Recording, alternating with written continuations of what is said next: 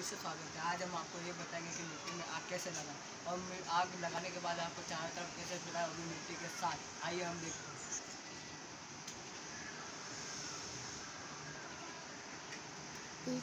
क्या किया वो तो बता क्या किया वो तो बता। पहले हमने पेट्रोल डाला मिट्टी मिट्टी इकट्ठा की मिट्टी इकट्ठा करने के बाद उसमें पेट्रोल डाला और उसमें आग लगी।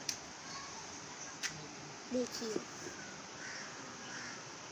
दोस्तों देखिए आज आग को हम कैसे फैलाएँगे बिजली का।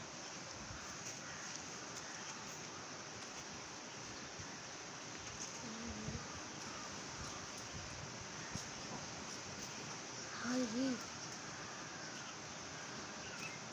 तो दोस्तों आपने देखा कि हमने मिट्टी में आग लगाया और इसके बाद में हमने इसको आग को फैलाया।